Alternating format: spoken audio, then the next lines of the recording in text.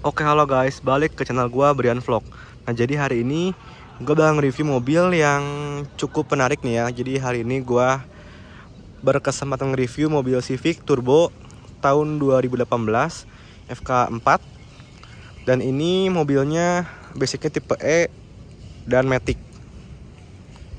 Nah yang pertama diganti sama ownernya itu ini nih bumper depannya dia pakai bumper yang tipe RS. Jadi kalau kalian tahu yang 2021 udah tipe RS dan ini adalah body kitnya nih bumpernya kayak gini depannya. Nah ke bagian belakangnya juga sama nih. Jadi sama ownernya juga di convert juga nih ke type RS jadi ini overall body kit depan belakangnya ini udah pakai yang tipe RS sampai diffuser diffusernya ini pakai RS dan knalpotnya jadi exit di tengah kayak tipe RS juga. Nah jadi overallnya tampilan depannya kayak gini nih. Ini bener-bener ganteng banget. Dan nggak lupa ada pemanis juga di bagian bawah sini nih. Ini ada lips karbon ini lips karbon ya. Ini benar rapi banget nih. Ini lipsnya. Jadi lebih kelihatannya lebih rapi nih bagian bawahnya nih. Tuh. Lanjut ada splitter karbon nih. Jadi ini splitternya karbon juga kayak yang depan. Nah buat modelnya yang mau beli juga ini modelnya yang modulo ya. Jadi yang ini modulo dan yang lips depan juga ini modulo nah buat spionnya sama owner juga diganti nih pakai yang karbon nih. Jadi ini karbon kiri kanan si cover spion atasnya. Nah buat ducktailnya juga sama nih. Sama ownernya diganti pakai yang ducktail model yang Thailand ya. Jadi injok karbon juga sama nih. Ini karbonnya rapi banget nih. Tuh kalian bisa lihat sendiri nih karbonnya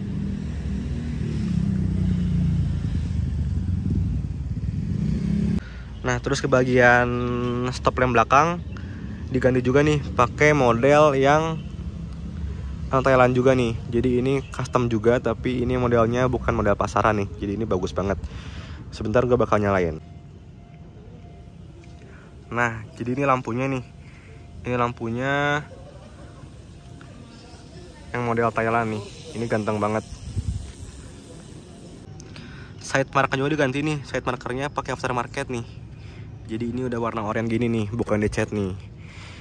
Nah ini juga diganti sama ownernya biar lebih clean aja konsepnya.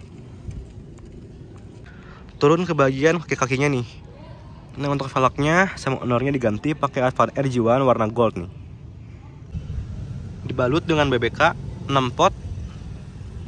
Jadi Brembo nih ini BBK nya biar pengereman juga mantap ini BBK nya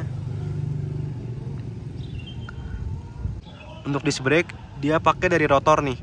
Ini ukuran 355 nih. Nih ini disc brake nya jadi untuk masalah overall pengereman ini udah benar-benar udah pol banget ya. Jadi mulai BBK sampai ke disc brake nya nah terus laknat juga diganti nih laknatnya diganti nih. Pakai warna hitam biar nggak banyak warna. Karena ini konsepnya ini clean banget mobilnya. Jadi segini. Nah untuk ban dia pakai Advan Neova ukuran 235 40 nih jadi ini benar-benar ban yang sekarang top banget ya. Terbaik lah ya. Jadi bannya pakai Yokohama Advan Nova. Ini ganteng banget sih Paul nih nah untuk masalah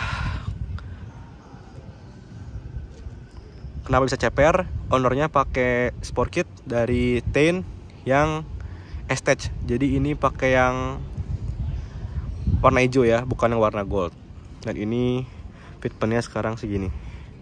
Satu jari. Nah ke bagian exhaustnya ownernya udah pakai exhaust mulai dari center pipe sampai exitnya ini uh, custom dan down pipe front pipe nya dari BK exhaust.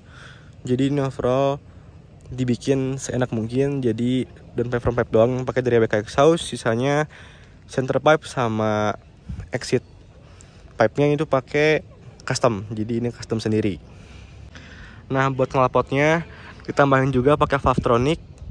Nah jadi ini Valvetronicnya udah dipakai juga biar suaranya bisa kecil bisa gede dari fan. Nggak lengkap kalau kita nge-review mobil tanpa nge-review bagian mesinnya. Nah yang pertama mesin ini udah di remap by SS Performance. Yang pertama. Yang kedua intake section pakai dari HKS. Di bawah sini juga ada intercooler dari HKS juga nih. Ini nggak kelihatan, cuman di dikit nih kelihatan untuk CVT cooler diganti juga pakai yang dari Thailand. Untuk radiatornya sendiri pakai dari Koyorap nih. Terus ke bagian sini ada strut bar. Strut barnya dari Cusco ini made in Japan nih. Terus ke bagian cover engine karbon juga nih cover engine-nya pakai karbon juga terus buat oil cap semua diganti nih dari HKS nih. Oil cap pakai HKS dan yang terakhir busi pakai HKS juga nih. Jadi overall dia mainnya di partnya di HKS ya. Ini engine bay nya kayak gini engine bay nya nih. Ini ganteng banget ganteng pol nih.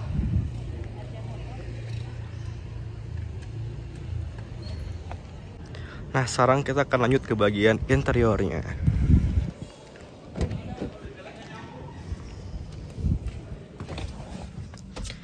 Nah, jadi yang pertama dia udah pakai pedal shift extender nih dari Savan ini nih. Ini warna hitam. Biar nggak banyak warna main dalam interiornya nih. Terus ada dashcam juga nih. Dia pasang dashcam juga di bagian sini nih. Dashcam juga ini biar lebih aman dan lebih safety. Terus ke bagian ini dia pakai kayak cover uh, engine start stop Mugen nih warna hitam juga. Dan sini ada bus meter dari default nih. Ini bus meternya dari default. Jadi interior paling segini karena ownernya belum banyak main di interior ya. Karena emang overall ini interior Civic Turbo ini udah ganteng banget nih. Semua udah ganteng banget. Jadi ownernya cuma ganti ke bagian ini extender sama coach karena perlu ya kalau coach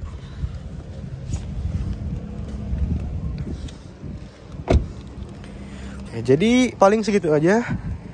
Review Civic Turbo yang Convert RS ini yang modifikasinya lumayan banyak banget. Dan ini kalau kalian belum tahu budgetnya berapa gue bakal spill budgetnya di kisaran 120 jutaan up ya. Jadi ini bisa dibilang Civic Hedon nih tapi tampilannya sederhana dan simpel banget nih.